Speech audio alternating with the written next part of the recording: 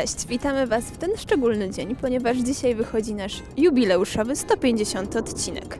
Z tej okazji przygotowaliśmy dla Was specjalny materiał, a ponadto, jak zawsze, możecie liczyć na porcję najnowszych informacji ze świata akademickiego. Zostańcie z nami. Czytając powieści fantastyczne, nieraz chciałoby się być nie tylko świadkiem, ale i bohaterem przedstawianych przygód. Teraz to możliwe. O tym, jak to jest zostać czarodziejem, czy też inną postacią świata fantazy, dowiecie się z materiału Kuby. You're a wizard, Harry. Nie do każdego dotarła sowa z zaproszeniem do szkoły magii w Hogwarcie. Jednak nic straconego. Jeśli nadal chcecie zostać czarodziejami, warto zapoznać się z aktywnością, jaką są larpy. LARP, czyli Live Action Role Playing Game. Role Playing Game, czyli wcielamy, jest to gra, tak? Jest to gra, w której wcielamy się w jakąś postać, postać wykreowaną przez mistrza gry. Live Action, czyli gramy całym sobą nie tylko opowieścią, nie tylko tym, że mówimy, dzielimy się naszą wyobraźnią, a po prostu też pokazujemy, mamy rekwizyty. Jak w każdej grze, należy najpierw poznać zasady. Z tego powodu samo wydarzenie poprzedziły odpowiednie warsztaty, w tym wypadku związane ze światem Harry'ego Pottera. Obecnie warsztaty przed tą grą, czyli przed, e, przed spotkaniem rodowym Starego Rodu Śmierciożerców.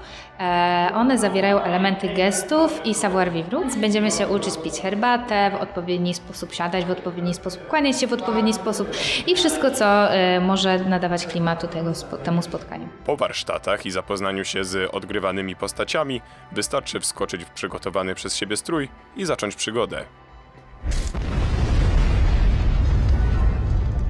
Należy jednak pamiętać, że larpy to coś więcej niż tylko gra. Możemy pokazać e, na przykład właśnie maniery arystokratyczne, możemy pokazać radość, możemy pokazać miłość, ale też pogardę, smutek, gniew.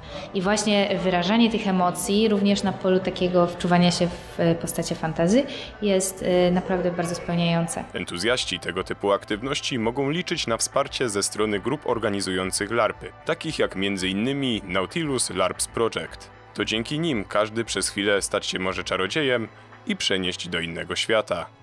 W tym roku obchodzimy stulecie pierwszych wyborów parlamentarnych w Polsce. Z tej okazji na Wydziale Nauk Politycznych i Dziennikarstwa UAM odbyła się ogólnopolska konferencja. Więcej szczegółów w materiale Zuzanny.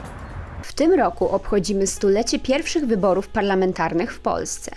Z tej okazji Wydział Nauk Politycznych i Dziennikarstwa we współpracy z Państwową Komisją Wyborczą oraz Krajowym Biurem Wyborczym zorganizował ogólnopolską konferencję naukową pod tytułem Demokratyczne wybory. Prawo, standardy, gwarancje, praktyka. Goście z całego kraju zebrali się w celu wymiany poglądów oraz prezentacji najnowszych wyników badań. Problematyka poruszana na konferencji dotyczy zarówno wyborów, które już są za nami, czyli wyborów samorządowych, ale także mamy przecież gorący czas przedwyborczy, wyborów do Parlamentu Europejskiego i wyborów do Sejmu. Konferencję rozpoczęły uroczyste przemówienia dostojnych gości. Później przyszedł czas na wymianę poglądów. Pierwszy panel dyskusyjny dotyczył samych początków historii wyborów.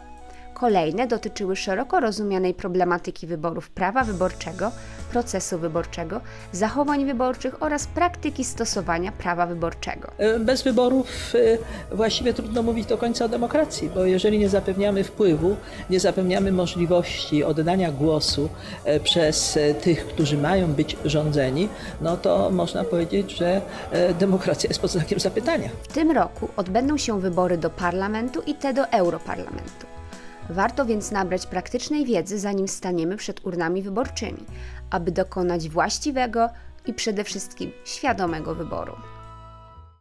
2 miliony studentów, 800 tysięcy wykładowców i szkoleniowców i prawie 15 miliardów euro. Tak w liczbach przedstawia się Erasmus. Czym dokładnie jest ten program i jak zostać jego uczestnikiem, dowiecie się z materiału Błażeja. Już od dwóch dekad polscy studenci mogą się uczyć na najlepszych uniwersytetach w Europie. A to dzięki programom edukacyjnym tworzonym przez Komisję Europejską. W latach 2014-2020 jest to Erasmus. Jedną ze studentek uczestniczących w tym programie jest Agata, która wyjechała na uniwersytet w Lizbonie. Program Erasmus Plus daje ogromne perspektywy rozwoju. Możemy nauczyć się nowego języka, poznać nowych ludzi, zwiedzić świat i po prostu poszerzyć nasze horyzonty.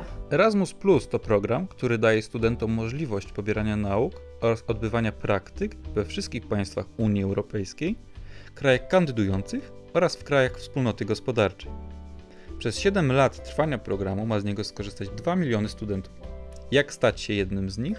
Przede wszystkim trzeba mieć motywację silną, e, dobrą znajomość języka, albo przynajmniej chęć poprawienia znajomości języka, przyzwoitą średnią, im wyższa, tym lepiej. Aby przybliżyć studentom ideę programu Erasmus, na Wydziale Nauk Politycznych i Dziennikarstwa Uniwersytetu imienia Adama Mickiewicza odbył się Erasmus Day.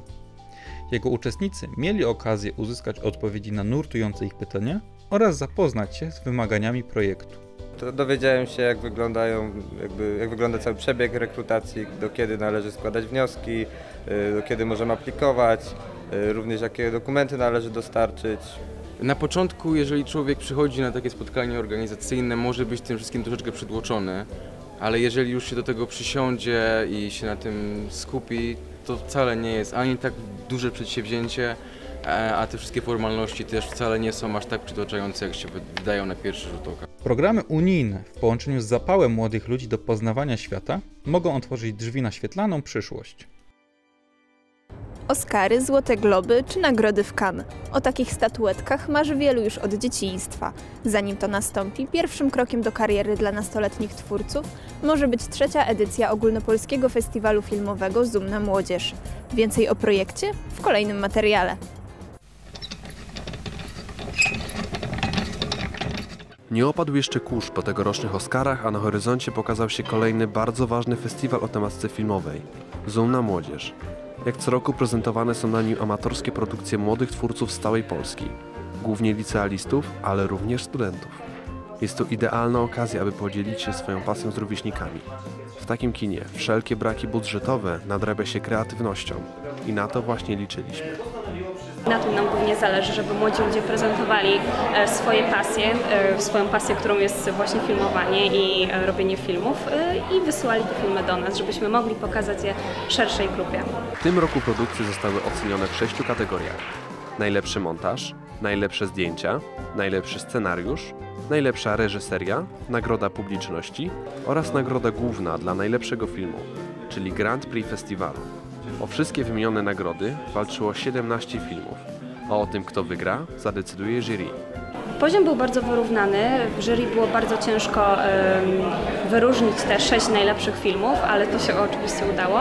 Y, te filmy były ciekawe, ponieważ y, stanowiły dowód na to, jak ich twórcy, młodzi ludzie, właściwie sami młodzi ludzie, y, myślą o filmie. W konkursie mogą wystartować tylko osoby, które nie przekroczyły 20 lat. Festiwal taki jak Zoom na Młodzież z pewnością może im pomóc w rozwijaniu swojej pasji do filmowania.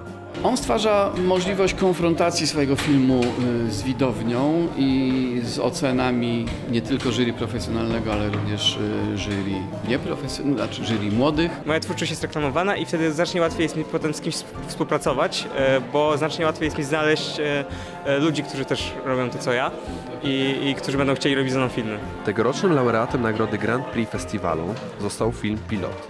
Kto wie, jaka przyszłość czeka młodych adeptów sztuki filmowej. Być może wśród uczestników znajduje się następca Jamesa Camerona albo Stevena Spielberga. Trudno na razie powiedzieć.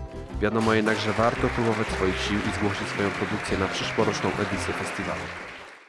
150 odcinków temu czteroosobowa redakcja Kuriera Akademickiego przygotowała pierwsze wydanie naszego programu. Obiektywnie przez obiektyw od 8 lat pokazujemy Wam informacje ze studenckiego Poznania. Zobaczcie, co się wydarzyło przez ten czas. Witamy w Kurierze Akademickim. Jest to program przygotowywany niemal w pełni przez studentów dla studentów. Właśnie tak wyglądały pierwsze minuty naszego programu.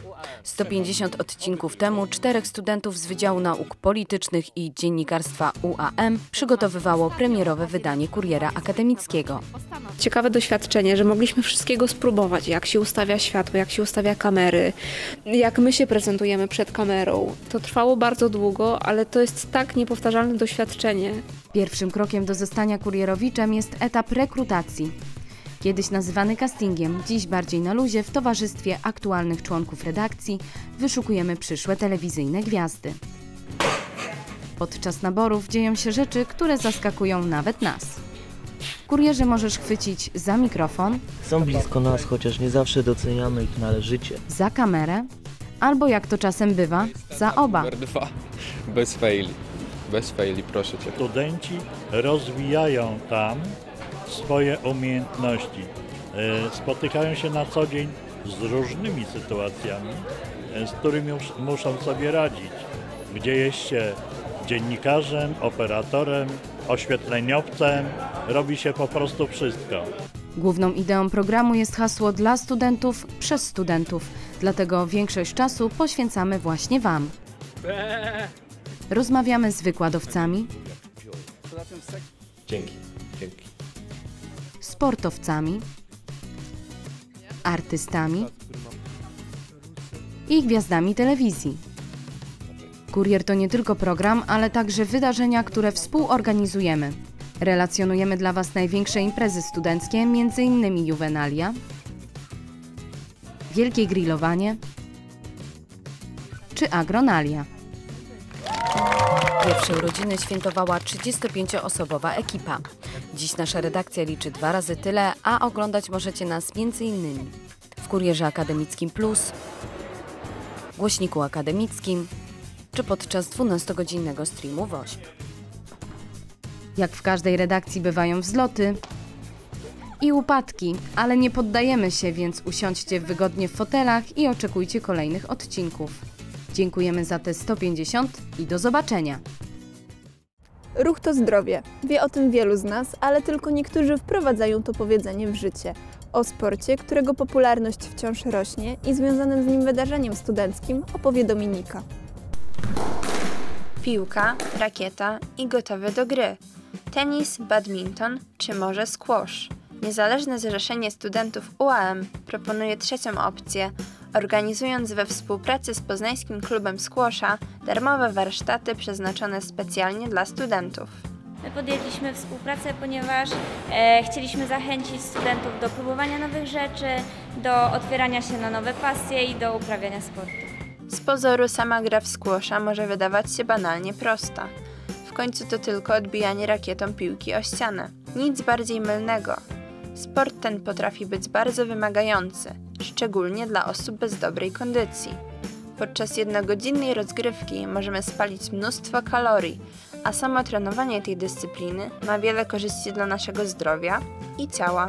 Squash generalnie rozwija całe ciało. E, tak naprawdę wszystkie partie pracują, bardzo mocno pracuje korpus, nogi, również ręce, więc tak naprawdę daje nam to plusy na wielu, wielu płaszczyznach. Sport powinien być szczególnie ważny w życiu studenta. W tygodniu spędzamy wiele godzin na zajęciach, a to wiąże się ze zmniejszoną ilością ruchu w ciągu dnia. Darmowe szkolenie z zamachu to świetna motywacja, aby aktywnie spędzić wolny czas. Podstawy były dobrze wytłumaczone, dzięki czemu wiedziałem jak sobie zagrać tutaj.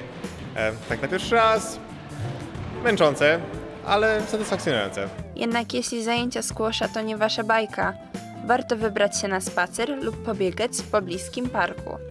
Wiosnę czuć już w powietrzu, a piękna pogoda sprzyja aktywności fizycznej. Pamiętajmy, że trochę ruchu nigdy nie zaszkodzi. 150 odcinek właśnie dobiega końca. Dziękujemy, że byliście z nami przez blisko 8 lat. I mamy nadzieję, że pozostaniecie z nami na kolejne. Do zobaczenia za dwa tygodnie. Cześć!